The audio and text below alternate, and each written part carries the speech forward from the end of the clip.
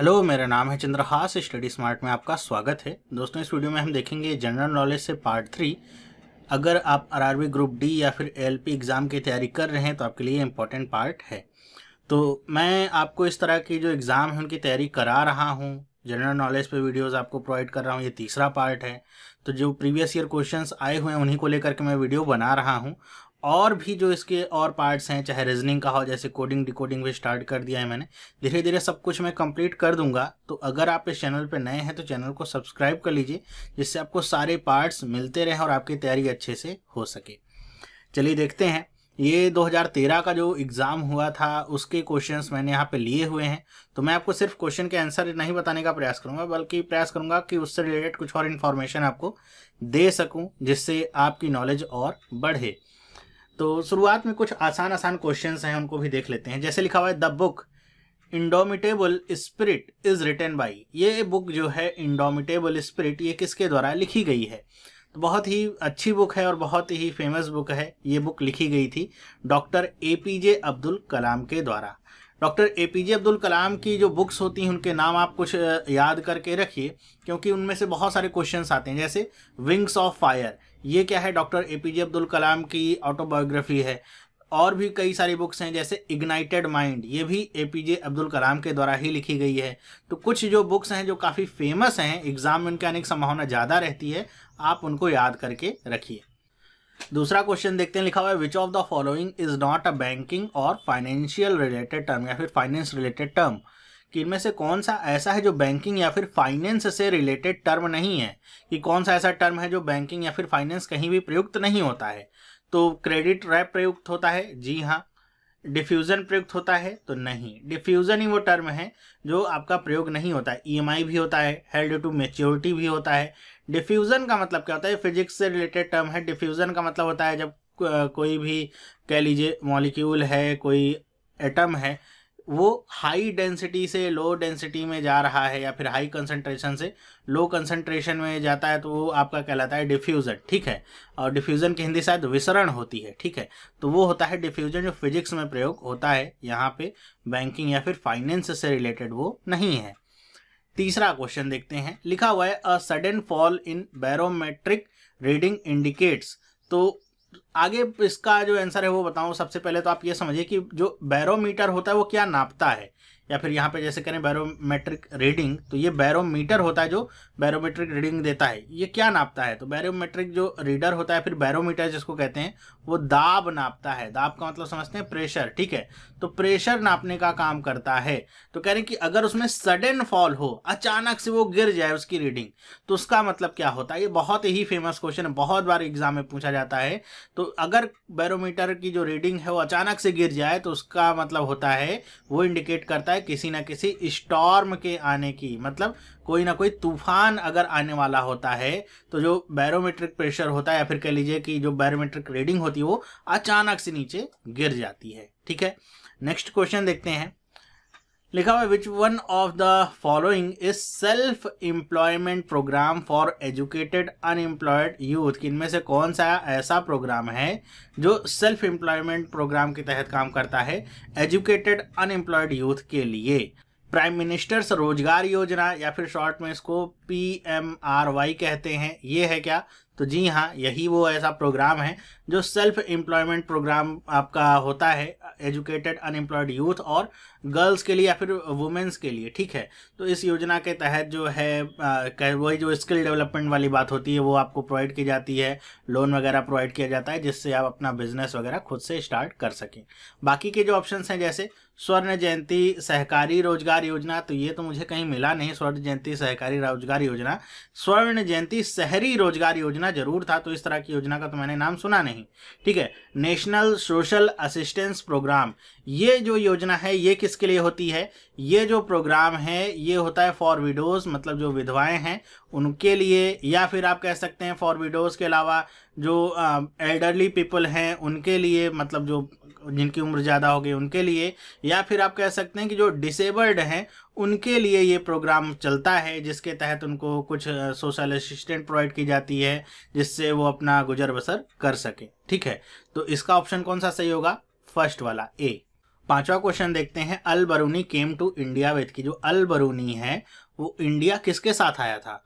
तो उसका आंसर मैं दूँ, इससे पहले मैं आपको बताऊँ, अल बरूनी के बारे में आपने सुना होगा, अल बरूनी को पॉलीमैथ कहा जाता है, ठीक है? पॉलीमैथ का मतलब क्या कि जिसको अलग अलग विषयों का ज्ञान हो। अलबरूनी के बारे में भी ये बात फ़ेमस थी। उन्होंने लगभग कहते हैं कि 35 बुक्स लिखी थी। भारतीय संस्कृति और कला, साहित्य, इन सब चीज़ों को लेकर के उनको मैथ जोग्राफी हिस्ट्री साइंस बहुत सारी चीज़ों का ज्ञान था। और कहा जाता है कि जो उनकी, जहाँ से वो आए थे, वो फारसी थे। पर्सियन स्कॉलर कहा जाता है इनको। तो वहाँ की भाषाओं का ज्ञान तो था ही, साथ ही साथ इनको संस्कृत का भी ज्ञान था। ठीक है? तो अलबरूनी काफ़ी कहते हैं कि जो मुस्लिम स्कॉलर थे, बहुत ही विद्वान एक स्कॉलर थे। अलबरूनी ये किसके साथ इंडिया आए थे? तो ये आए थे महमूद गजनी के साथ ये इंडिया आए थे। ठीक है? महमूद गजनी के साथ ये इंडिया आए थे। तो इसका सही आंसर क्या है? डी वाला। कुछ लोग मोहम्मद गौरी को लेकर के कंफ्यूज हो सकते हैं, जो कि गलत है। ठीक है? ये महमूद गजनी के साथ इंडिया आए थे। नेक्स्ट हम क्वेश्चन देखते हैं। लिखा हुआ है where is Mullaperiyar dam located तो मुल्ला पेरियार डैम कहाँ पे लोकेटेड है? तो ये डैम लोकेटेड है इसमें ऑप्शन में कंफ्यूज हो सकते हैं आप। तमिलनाडु और केरला को लेकर के। कर्नाटका तो है नहीं नॉन ऑफ़ द अब आप, आपका ऑप्शन नहीं है।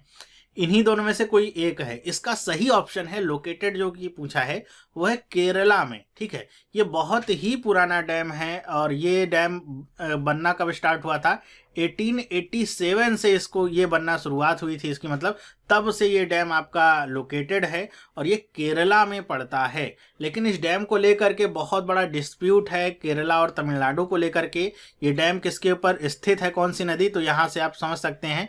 यहाँ पे पेरियार लिखा गया है तो ये पेरियार नदी के ऊपर ही स्थित है, ठीक है? पेरियार रिवर के ऊपर ही ये डैम स्थित है और ये डैम जब बना था, उससे पहले, एक साल पहले, अठारह में, इस डैम को नौ सौ निन्यानवे साल के लिए लीज पे दे दिया गया था। किसको? तमिलनाडु को। तो यही वो कह सकते हैं कि झगड़े की जड़ है। इसी वजह से इस डैम को लेकर के तमिलनाडु और केरला के भी झगड़ा उस समय तो अंग्रेज़ों का राज्य था। तो उस समय इसको लीज पे दे दिया गया था, लेकिन उसके बाद फिर इस डैम के पानी को लेकर के काफ़ी ज़्यादा झगड़ा हुआ है जिस का आपको पता है कि कोर्ट में भी आपकी सुप्रीम कोर्ट वगैरह सुनवाई कर रहे हैं, ठीक है? तो इस डैम को लेकर के सवाल सिर्फ़ इसीलिए पूछा जाता है क्योंकि कई लोग समझते हैं कि ये डैम जो है वो तमिलनाडु में है।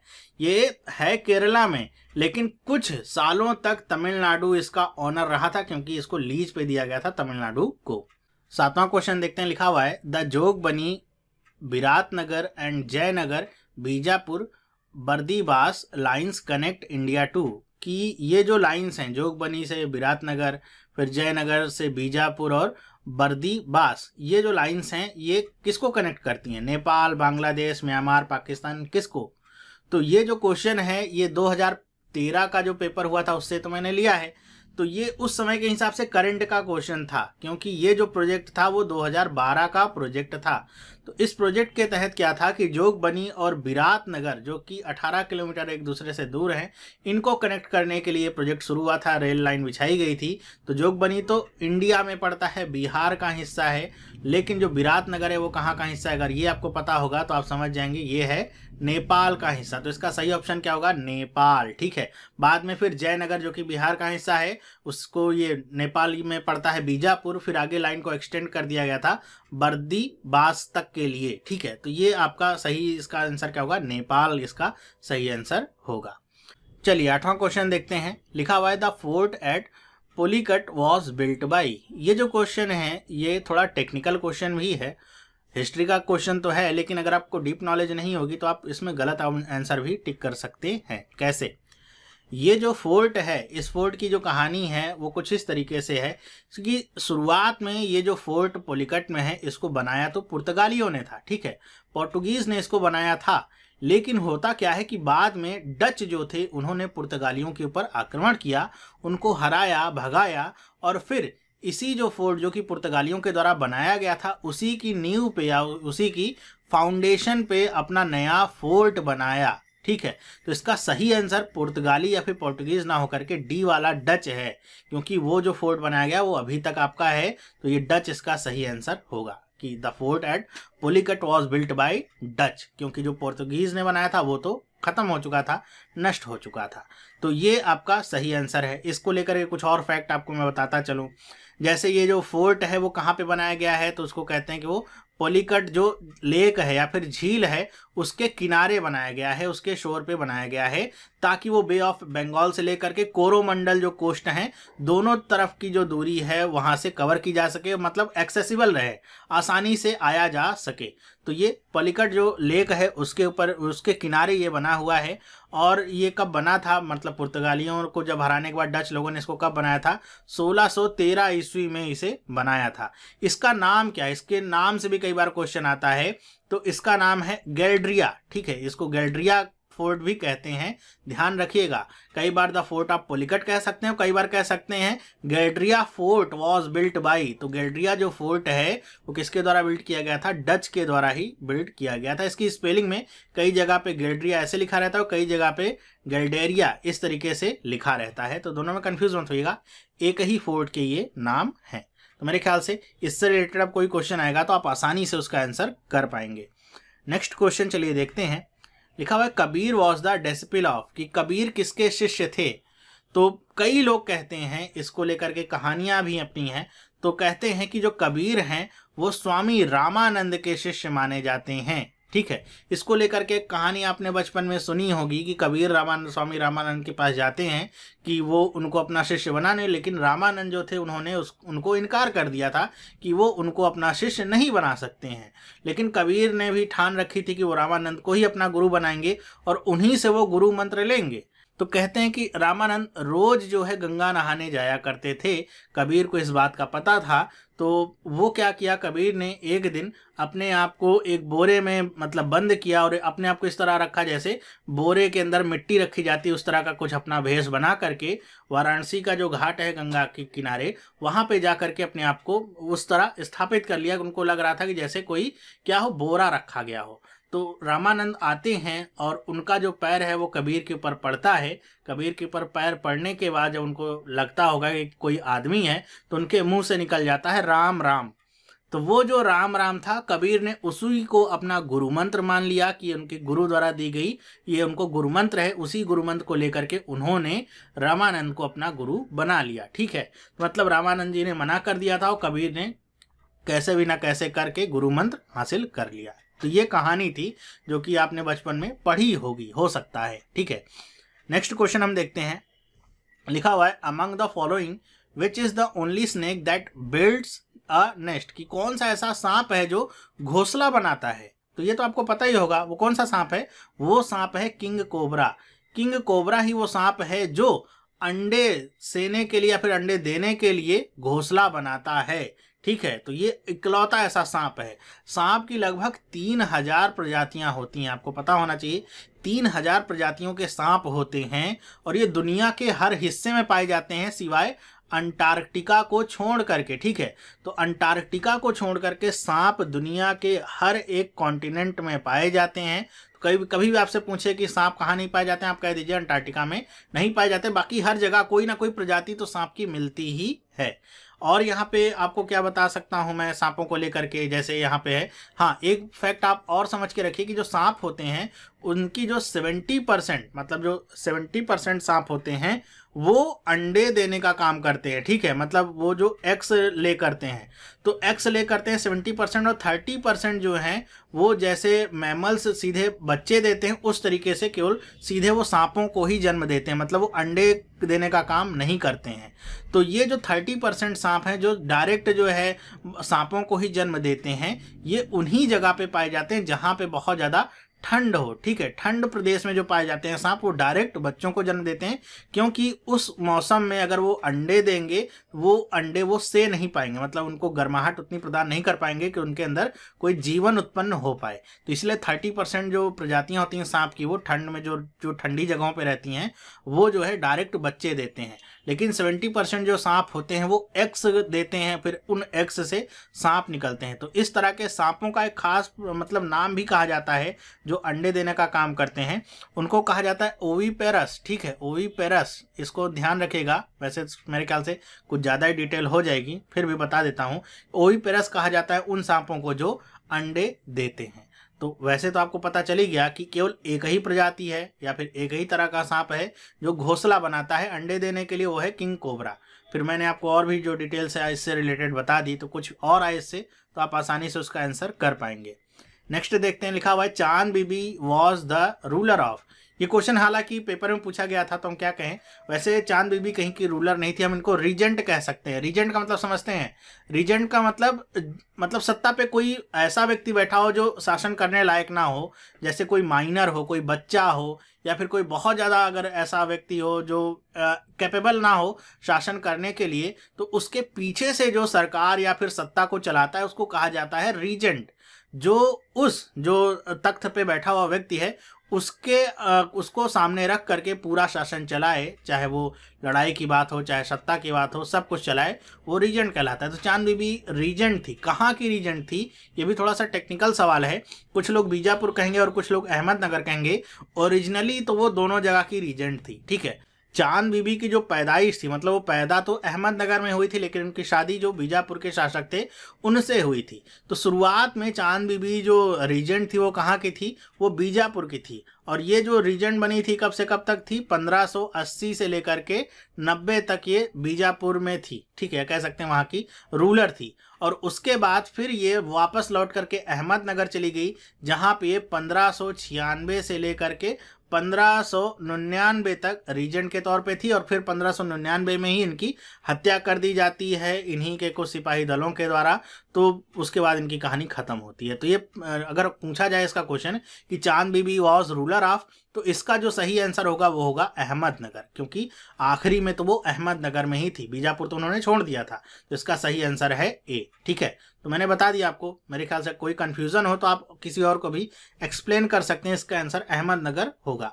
अगर अहमदनगर ऑप्शन में ना हो तब आप बीजापुर लगा सकते हैं। नेक्स्ट क्वेश्चन देखते हैं। लिखा हुआ which of the following disease is caused by the bite of mad dog किनमें से कौन सी ऐसी डिज़ीज़ है जो पागल कुत्ते के काटने से होती है? तो आपने गाँव वगैरह में अपने आसपास भी सुना होगा कि जिसको पागल कुत्ता काट लेता है, अगर वो इंजेक्शन वगैरह नहीं लगाता है तो आपने सुना होगा कि उसको पानी से बहुत डर लगता है, ठीक है? तो वो जो बीमारी होती है, वो बीमारी होती है जिसकी वजह से लोगों को पानी से डर लगने लगता है तो उस बीमारी को क्या कहते हैं? यहाँ पे देखिए लिखा हुआ है, हाइड्रोफोबिया। तो ये बीमारी होती है जो पागल कुत्ते के काटने की वजह से होती है। तब अगर आप इंजेक्शन नहीं लगवाते हैं तो एक और बीमारी का नाम ऊपर लिखा हुआ है हाइड्रो सेफलस ये जो बीमारी है, ये होती है छोटे बच्चों में जिनके दिमाग के अंदर पानी बढ़ जाता है, ठीक है, या फिर पानी भर जाता है, इस बीमारी को कहते हैं हाइड्रोसेफलस ये पागल कुत्ते के काटने से नहीं होती है, ठीक है। नेक्स्ट क्वेश्चन देखते हैं। लिखा हुआ है the phenomenon of summer sleep by animals is called कि जो एनिमल, कई एनिमल ऐसे होते हैं जो गर्मियों के दिनों में सो जाते हैं। आपने एक फिनोमिना सुना होगा कि विंटर स्लीप विंटर स्लीप का मतलब आपने देखा होगा कि जो ध्रुवी भालू होते हैं, वो क्या करते हैं, जो सर्दियों के दिन रहते हैं, उसमें वो स्लीप में चले जाते हैं और अपना जो मेटाबॉलिक सिस्टम होता है, उसको इतना लो कर लेते हैं कि वो छः सात महीने तक सोते ही रहते हैं, उठते नहीं हैं। तो वो जो स्लीप होती है विंटर वाली, उसको कहा जाता है हाइबरनेशन लेकिन जो समर स्लीप भी एक होती है, जैसे विंटर की स्लीप है, वैसे समर स्लीप भी होती है एनिमल्स में। तो कुछ सारे एनिमल्स नहीं समर स्लीप को यूज़ करते हैं, कुछ एनिमल्स यूज़ करते हैं।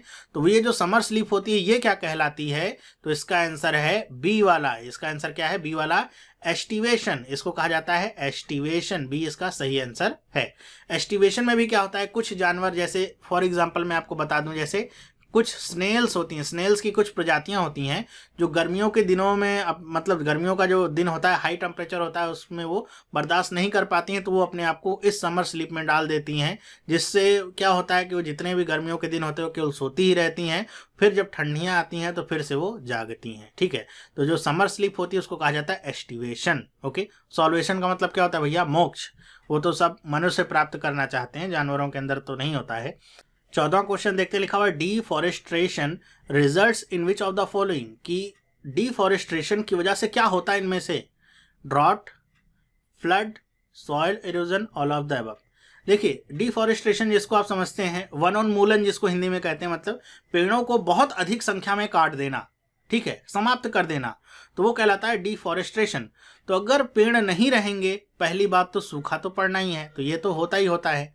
फ्लड आती है कि नहीं, इसको थोड़ा देखते हैं। सॉयल इरोजन भी होता है मतलब मिट्टी का कटना। जब पेड़ ही नहीं रहते हैं तो आपने देखा होगा कि मिट्टी अपने आप ही बह जाती है, क्योंकि पेड़ की जो जड़ें रहती हैं, वो मिट्टी को पकड़ के रखती हैं। अगर कहीं पे पेड़ रहते हैं, जंगल रहता है, वहाँ पे बाढ़ भी आ जाए तो भी वहाँ की मिट्टी बहती नहीं है। लेकिन अगर पेड़ नहीं रहते तो मिट्टी सारी कटान में चली जाती है, सारी मिट्टी कट जाती है तो सॉयल इरोजन भी होता ही होता है। तो ए और सी वाला तो आंसर सही है। तो अगर आपको फ्लड नहीं भी पता है तो भी आप समझ सकते हैं इसका आंसर क्या होगा। डी वाला होगा कि ऑल ऑफ़ द एबव, क्योंकि दो आंसर तो सही नहीं हो सकते, एक ही आंसर सही होगा। मतलब ये तीनों काम होते हैं डिफॉरेस्ट्रेशन से। फ्लड भी बहुत ज़्यादा आती है मतलब बाढ़ बहुत ज़्यादा आती हैं, अगर पेड़ नहीं है तो। उसके बहुत सारे रीजन्स हैं, क्योंकि अगर कहीं किसी जगह पे पेड़ नहीं होंगे तो वो क्या होती है कि जो भी बारिश का पानी होता है, वो डायरेक्ट मिट्टियों में जाता है, और फिर जो मिट्टी का जो पानी होता है, वो क्या होता है कि वो जो मिट्टी होती है, पानी को उतना सोख नहीं पाती है। क्योंकि ज़रूरत से अधिक पानी अगर उसको मिल रहा है मिट्टी को तो क्या होगा? सोख नहीं पाएँगी। और फ्लड होने का एक रीज़न ये भी होता है कि अगर पेड़ रहते हैं तो जो किनारे रहते हैं नदियों के, उनको वो अच्छी तरीके से पकड़े रहते हैं, जिससे मिट्टी बह नहीं पाती। तो वो जो पानी होता है, वो बाहर नहीं निकल पाता, या फिर जो कटान होता है, वो हो नहीं पाता है, जिसकी वजह से पानी अंदर घुसे। ठीक है? लेकिन अगर पेड़ ही नहीं रहेंगे तो जो कटान होगा, वो कटता जाएगा और पानी धीरे धीरे नदी को छोड़ करके बाहर भी आने लगता है। और इसके बहुत सारे रीजन्स हैं कि अगर पेड़ रहते हैं तो जो बारिश का पानी होता है तो कुछ पेड़ों की पत्तियों पे पड़ता है, वो पानी वाष्पोकृत होकर के ऊपर उड़ जाता है मतलब वो ज़मीन तक पहुँचता ही नहीं है, जिसकी वजह से जो मिट्टी होती है, वो सूखी रहती है, और पेड़ जब रहते हैं तो वो जड़ों से जो भी पानी मिट्टी के अंदर रहता है, उसको सोख लेते हैं। तो पानी सोखने के बाद मिट्टी सूखी रहती है। तो अगर ज़्यादा बारिश होती भी है या फिर पानी आता भी है बाहर से तो मिट्टी उसको एब्जॉर्ब कर लेती है, जिसकी वजह से बाढ़ का खतरा नहीं रहता है। लेकिन अगर पेड़ ही नहीं रहेंगे तो ये सारी घटनाएँ होनी ही होनी है, ये बात तय है। ठीक है? नेक्स्ट क्वेश्चन देखते हैं पंद्रवा लिखा हुआ है the term H U F means कि इस टर्म एच यू एफ़ का क्या मतलब होता है? तो इसका आंसर देखिए हिंदू अनडिवाइडेड फैमिली तो हाँ यही इसका सही आंसर है ए वाला ही। बाकी ऑप्शन पढ़ने की ज़रूरत नहीं Hindu unified family highly urbanised family ये सब गलत हैं ठीक है? जो एच यू एफ़ होता है ये हिंदू अनडिवाइडेड फैमिली इसका मतलब होता है एक तरह का बिज़नेस टाइप है। जैसे हम कंपनी वगैरह खोलते हैं कुछ कंपनी होती हैं जो सिंगल पर्सन कंपनी होती है कुछ में दो डायरेक्टर्स होते हैं वैसे एक समझ सकते हैं बिज़नेस का प्रकार है हिंदू अनडिवाइडेड फैमिली इसके अपने क्या कहते हैं कि लाभ होते हैं इस, इस अगर आप हिंदू अनडिवाइडेड फैमिली क्रिएट किया हुआ है आपने तो कुछ टैक्स में आपको बचत एक्स्ट्रा मिलती है मतलब कुछ टैक्स आपका बचता है। इसको लेकर के एक क्वेश्चन और पूछा जाता है कि हिंदू अनडिवाइडेड फैमिली में जो प्रमुख होता है मतलब जो सबसे ऊपर होता है पर्सन उसको क्या कहा जाता है? तो उसको हिंदी में कहा जाता है कर्ता मतलब हिंदी इंग्लिश सब में उसको कर्ता ही कहा जाता है। ये जो सबसे सीनियर मोस्ट मेंबर होता है फैमिली का, उसे ही कर्ता माना जाता है। ठीक है? नेक्स्ट क्वेश्चन देखते हैं। The first dynasty of Vijayanagar kingdom was कि विजयनगर जो किंगडम है, उसकी जो फ़र्स्ट डायनेस्टी या फिर कह लीजिए सबसे पहला वंश उसका कौन सा था? तो अब आप देखिए इसके ऑप्शन क्या है? होयसाला, संगमा, सलुआ, तुलुआ, कौन सा इसका सही ऑप्शन है? विजयनगर साम्राज्य के लिए। तो विजयनगर साम्राज्य का जो पहली डायनेस्टी थी, वो थी संगम वंश, ठीक है? जो विजयनगर साम्राज्य था, ये कहते हैं कि दो भाइयों, हरिहर और बुक्का। ध्यान रखिएगा, दो भाई थे। एक था हरिहर और दूसरे भाई का नाम था बुक्का। इन दोनों भाइयों ने विजयनगर साम्राज्य की स्थापना की थी, संगम वंश के नाम से, इस राजवंश की स्थापना की थी। तो इनके बारे में और कुछ चीज़ें जैसे आपसे पूछी जा सकती हैं कि ये दोनों भाई इससे पहले कहाँ थे? तो ये प्रताप रुद्रदेव एक के सामंत ये दोनों भाई थे, विजयनगर साम्राज्य की स्थापना करने से पहले। फिर तेरह सौ छत्तीस ईस्वी में उन्होंने, तेरह सौ छत्तीस ईस्वी में उन्होंने विजयनगर साम्राज्य की स्थापना की संगम वंश के नाम से। और क्वेश्चन क्या आ सकता है? विजयनगर साम्राज्य की राजधानी क्या थी? ये भी एक इंपॉर्टेंट क्वेश्चन है, इसकी राजधानी थी हम्पी। ध्यान रखिएगा। हम्पी विजयनगर साम्राज्य की राजधानी थी। इसकी राजभाषा कह सकते हैं तो इसकी राजभाषा क्या थी? तेलुगु। ठीक है तो विजयनगर साम्राज्य से कोई क्वेश्चन आए, इस तरह के क्वेश्चन आते हैं तो आप आसानी से उनको बता सकें। इसके संस्थापक कौन थे? हरिहर बुक का। इसकी राजधानी क्या थी? हम्पी कब स्थापित किया गया था? तेरह में। इसकी राजभाषा क्या थी? तेलुगु थी। तो ऐसे कोई भी क्वेश्चन आएगा तो आप आसानी से बता सकते हैं, और संगम राजवंश इसका प्रथम राजवंश था। ओके? मेरे ख्याल से आप समझ गए होंगे इसको। आगे बढ़ते हैं। लिखा हुआ है in whose reign Sanchi stupa was build कि किसके शासनकाल में सांची का जो स्तूप है, उसको बनाया गया था। तो किसका शासनकाल था? तो वो शासनकाल था द ग्रेट अशोक जिनको कहा जाता है, महान अशोक। तो इसका पहला जो ऑप्शन है वही सही है कि अशोक के शासनकाल में उनके दिशा निर्देश के अनुसार सांची स्तूप की स्थापना की गई थी। तो सांची स्तूप की जो स्थापना थी, आपको पता होगा स्तूप जो है बौद्धों के लिए पवित्र जगह है जहाँ पे महात्मा बुद्ध के जो भी अवशेष थे, उनको रखा जाता है स्तूपों में। तो वही एक आपका था सांची का स्तूप। ठीक है, ये कहाँ पे है, कौन से राज्य में? मध्य प्रदेश में। पड़ता है भोपाल के पास, ठीक है? तो ये आपका क्वेश्चन है, जिसका सही आंसर है अशोक, ठीक है? नेक्स्ट देखते हैं, लिखा हुआ है, Swadhar is a scheme of government of India for कि स्वाधार जो स्कीम है गवर्नमेंट ऑफ़ इंडिया की, ये किसके लिए है?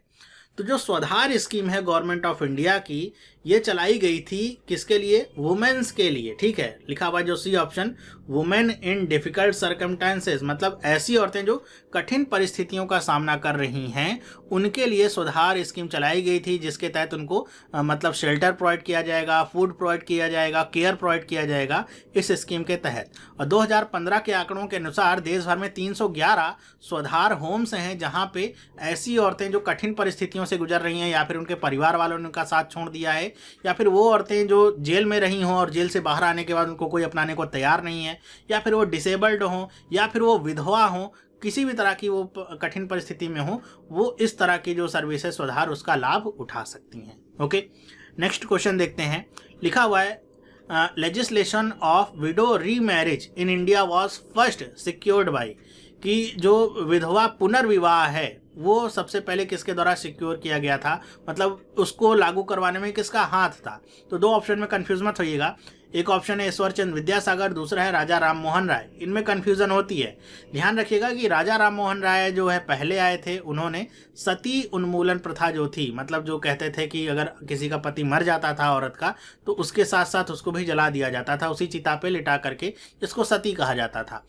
फिर आए थे ईश्वरचंद विद्यासागर, जिन्होंने विधवा पुनर्विवाह जो था, इसको लागू करवाने में बहुत महत्वपूर्ण योगदान दिलाया था। और इसके बाद अंग्रेज़ों ने एक एक्ट लेकर के आए थे, जिसको कहा गया था widow Hindu, widow remarriage act. कौन सा एक्ट था? अठारह सौ छप्पन एटीन फिफ्टी सिक्स ये एक्ट लाया गया था, जिसके अनुसार कोई भी विधवा फिर से विवाह करने के लिए स्वतंत्र थी। ठीक है तो ये कौन थे? ईश्वर चंद विद्यासागर। और इस हिंदू विधवा पुनर्विवाह से एक क्वेश्चन और बनता है। वो क्या है कि जब हिंदू विधवा पुनर्विवाह ये एक्ट लाया गया था तो उस समय भारत का वायसराय कौन था? तो भारत के वायसराय उस समय कौन थे? तो वो थे लॉर्ड कैनिंग ठीक है, ध्यान रखिएगा नाम। लॉर्ड कैनिंग भारत के वायसराय थे। जब आप लॉर्ड कैनिंग का नाम सुन रहे हैं और मेरे मुँह से सुन रहे हैं वायसराय तो इससे क्वेश्चन और आपको मैं बता दूँ कि लॉर्ड कैनिंग भारत के प्रथम या फिर कह लीजिए फ़र्स्ट वायसराय थे। ठीक है, अब फ़र्स्ट ये कैसे थे आप कहेंगे क्योंकि लॉर्ड कैनिंग से पहले जो पोस्ट थी, वो क्या कही जाती थी? वो कहते थे गवर्नर जनरल, ठीक है? वो ये पोस्ट हुआ करती थी। लेकिन 1856 में कंपनी का जो शासन था, उसको समाप्त करके ब्रिटिश सरकार ने जो कंट्रोल था, वो अपने हाथ में ले लिया था फिर इस पोस्ट को ख़त्म करके जो वायसराय की पोस्ट थी, इसको शुरू किया था और भारत के इसलिए प्रथम वायसराय माने जाते हैं लॉर्ड कैनिंग। ठीक है तो एक क्वेश्चन से आपको दो तीन यहाँ पे आंसर मिल जाते हैं। तो आपको अगर कोई क्वेश्चन पूछा जाए तो आसानी से आप बता सकें। नेक्स्ट क्वेश्चन देखते हैं। लिखा हुआ है, the Nagarjuna inscription provided information award ये तो बहुत ही फ़ेमस क्वेश्चन है कि जो नागार्जुन इंस्क्रिप्शन है, वो किसके बारे में इंफॉर्मेशन प्रोवाइड करता है? तो नागार्जुन इंस्क्रिप्शन बौद्धिज्म या फिर बुद्धिज्म के बारे में सारी इंफॉर्मेशन प्रोवाइड करता है। ठीक है?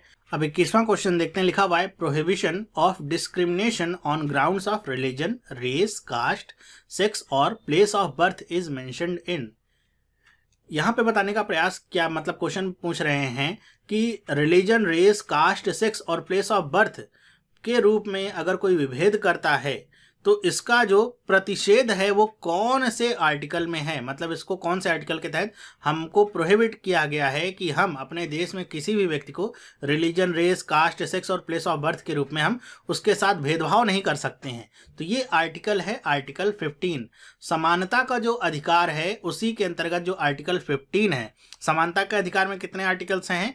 आर्टिकल 14 से लेकर के 18 तक जो आर्टिकल्स आते हैं, वो समानता का आधार प्रदान करते हैं। और उसमें जो पंद्रवा आर्टिकल है वो यही है कि रिलीजन रेस कास्ट सेक्स और प्लेस ऑफ़ बर्थ के रूप में हम किसी के साथ विभेद नहीं कर सकते हैं भेदभाव नहीं कर सकते हैं। आर्टिकल चौदह को लेकर के भी सवाल काफ़ी आते हैं। आर्टिकल चौदह को लेकर के सवाल क्या है? या फिर आर्टिकल चौदह है क्या? तो आर्टिकल चौदह बताता है कि, कि कोई भी व्यक्ति को कहते हैं कि वो विधि के समान समक्ष सम, समता और विधि का समान संरक्षण उसको प्रदान होता है। मतलब कोई भी व्यक्ति हो इस, इस देश में रहने वाला वो कानून के सामने क्या है? समान है। अमीर गरीब किसी धर्म संप्रदाय जाति ऐसा कुछ नहीं है। कानून के समान सबको समानता है और सबको कानून का संरक्षण प्राप्त है। ये आर्टिकल चौदह हमको बताता है ठीक है? तो ये दो जो आर्टिकल हैं ये काफ़ी इंपॉर्टेंट हैं और इसमें एक आर्टिकल और इंपॉर्टेंट है वो है सत्रहवां आर्टिकल। सत्रहवां आर्टिकल क्या बताता है? छुआछूत का जो अंत है। ठीक है? अस्पृश्यता ठीक है? अनटचबिलिटी उसका जो अंत है वो आर्टिकल सत्रह के तहत किया गया है। एक आर्टिकल जो अठारह है, जो सबसे आखिरी आर्टिकल है, वो बताता है कि हमारे देश में जितनी भी तरह की उपाधियाँ हैं, जो राजा, महाराजा, ये सब थी, उन सारी तरह की उपाधियों का अंत कर दिया गया था। अब केवल वही उपाधियाँ मान्य होंगी, जो कि आप खुद से कमाएँगे या फिर जो शैक्षणिक आधार पे होंगी, जैसे डॉक्टर, इंजीनियर, ये सब उपाधियाँ तो रहेंगी, लेकिन राजा, महाराजा, दीवान और ये सब जो उपाधियाँ थी, ये खत्म कर दी गई। तो ये था आर्टिकल अठारह, ठीक है? तो ये जितने आर्टिकल इंपॉर्टेंट थे मैंने आपको बताए, एक बार फिर से मैं रिपीट कर दूँ आपको कि विधि के समक्ष सब लोग समान हैं। मतलब कानून के सामने सब लोग समान हैं, उसमें कोई भेदभाव नहीं है, और सबको कानून का संरक्षण प्राप्त है। यहाँ तक कि जिसको सजा भी होती है कैदी भी होता है, उसको भी कुछ ना कुछ कानूनी संरक्षण प्राप्त होते हैं। आर्टिकल पंद्रह क्या कहता है कि हम रिलीजन रेस कास्ट सेक्स और प्लेस ऑफ़ बर्थ के रूप में किसी के साथ विभेद नहीं कर सकते हैं भेदभाव नहीं कर सकते हैं। आर्टिकल सत्रह जो होता है तो आर्टिकल सत्रह ने क्या कहा था कि अनटचबिलिटी अस्पृश्यता का अंत कर दिया गया है। आर्टिकल 18 बताता है कि सभी तरह की जो उपाधियाँ होती हैं तो पहले ज़माने में थी, उनका अंत करके, राजा रानी ये सब खत्म करके, अब केवल वही मानी जाएँगी उपाधियाँ जो आप खुद से कमाएँगे या फिर शैक्षणिक होंगी, जैसे डॉक्टर हो गया, इंजीनियर हो गया, ये सब। तो ये सब रहेंगी और सारी तरह की उपाधियों को खत्म कर दिया गया। आप सोच रहे होंगे आर्टिकल 16 कभी पूछा नहीं जाता है बहुत ही रेयर ऑफ़ रेयर केस में पूछा जा सकता है। आर्टिकल 16 वैसे आप समझ लीजिए। आर्टिकल 16 में कहा गया है कि लोक नियोजन के विषय में अवसर को की समानता, ठीक है? तो ये आर्टिकल 16 है। समानता के अधिकार के अंतर्गत ही आता है। बाईसवां क्वेश्चन देखते हैं। अब यहाँ पे करंट अफेयर के क्वेश्चन है। Which country has been elected as the vice president of the financial action task force F A T F. अभी ये हाल ही में बहुत ज़्यादा चर्चा में रहा था। किस लिए? क्योंकि एफ़ ए टी एफ़ ने पाकिस्तान को ग्रे लिस्ट में डाल दिया था, ठीक है? तो ग्रे लिस्ट में डाल दिया था, इसको लेकर के बहुत चर्चा हुई थी, कह रहे थे सब लोग कि भारत की कूटनीतिक सफलता है ये कि पाकिस्तान को ग्रे लिस्ट में डाला गया है। तो इसीलिए यहाँ पे कुछ लोग पाकिस्तान आंसर टिक कर सकते हैं, जो कि गलत है। चर्चा में पाकिस्तान पाकिस्तान और एफ़ ए टी एफ़ ही था तो ज़्यादातर लोग वहीं से कन्फ्यूज़ रहेंगे, जबकि यहाँ पे क्वेश्चन क्या पूछा जा रहा है कि वाइस प्रेसिडेंट के रूप में किसको नियुक्त किया गया है कौन सी कंट्री को तो वो कंट्री है चाइना, पाकिस्तान का परम मित्र। पाकिस्तान के परम मित्र ने ही उसको ग्रे लिस्ट में डलवा दिया, ठीक है? तो ये था चाइना। नेक्स्ट हम बात करते हैं तेईसवां क्वेश्चन है what is the India's rank in the global corruption perception index या फिर जिसको सीपीआई कहते हैं फॉर 2017 कि भारत की रैंक बतानी है ग्लोबल करप्शन परसेप्शन इंडेक्स में क्या थी? 2017 में। तो 2017 में भारत की रैंक थी 78 और जो पहले रैंक थी भारत की वो थी 79 2016 में। अब ये रैंक हो गई है 88 तो इस हिसाब से भारत को कुल टोटल 100 में से कितने नंबर दिए थे? चालीस नंबर प्रदान किए गए थे और इस रैंकिंग के अनुसार जिसको ज़ीरो नंबर मिलते हैं, वो सबसे ज़्यादा करप्ट देश होता है और जो सौ नंबर जिसको मिलते हैं, वो सबसे कम करप्ट देश होता है, या फिर कह लीजिए वहाँ पे करप्शन का नामो निशान ही नहीं होता है। तो भारत को मिले हैं इसमें चालीस नंबर फिर एक क्वेश्चन इससे और आ सकता है कि ये जो इंडेक्स है, ये किसके द्वारा निकाला जाता है? तो ये जो इंडेक्स है, ये ट्रांसपेरेंसी इंटरनेशनल जो संस्था है, उसके द्वारा निकाला जाता है। ठीक है? तो यहाँ से क्वेश्चन आपके क्लियर हो जाते हैं। चौबीसवां क्वेश्चन देखते लिखा हुआ the term moderate cannot be used to describe कि जो मॉडरेट टर्म है, या फिर कह सकते हैं, उदारवादी जिसको कहते हैं, वो किसके लिए यूज़ नहीं किया जा सकता है? गोपाल कृष्ण गोखले, दादा भाई नौरोजी ये क्या है? फिरोज शाह मेहता, बिपिन चंद्र पॉल। तो आपको पता होना चाहिए कि जो भारतीय कांग्रेस थी, या फिर कह लीजिए जो भारतीय राष्ट्रीय आंदोलन था, वो दो भागों में विभाजित हो गया था। एक था गर्म दल और एक था नरम दल। तो गरम दल के जो नेता थे, उनको आप मॉडरेट टर्म के तहत आप डिस्क्राइब नहीं कर सकते हैं।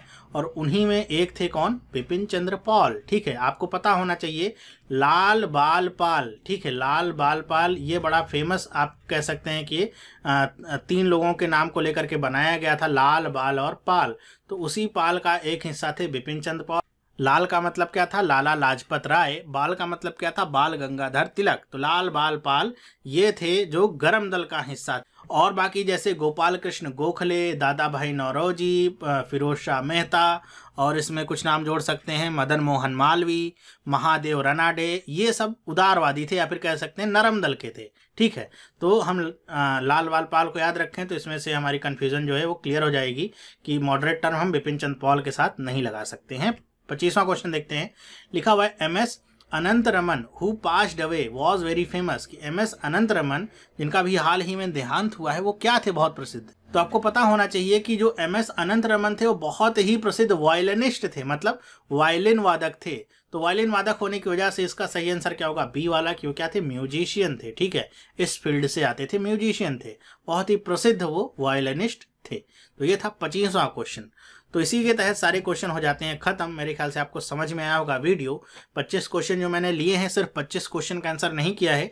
प्रयास किया है कि जहाँ पे आपको थोड़ा और डीप में मैं बता सकूँ दो चार क्वेश्चन और, जिससे आपकी जो नॉलेज है वो और बढ़ सके और उस क्वेश्चन से रिलेटेड और सारे फैक्ट आपको पता चल सकें। तो मेरा जो ये प्रयास है आपको कैसा लगा, मुझे आप लाइक एंड कमेंट करके बताइएगा और अपने दोस्तों के साथ भी इस वीडियो को ज़रूर शेयर करिएगा, जिससे और लोगों तक भी वीडियो पहुँच सके। मुझे भी अच्छा लगे कि ज़्यादा से ज़्यादा लोग इस वीडियो को देखें। तो हम मिलेंगे नेक्स्ट वीडियो में, तब तक के लिए have a nice day and bye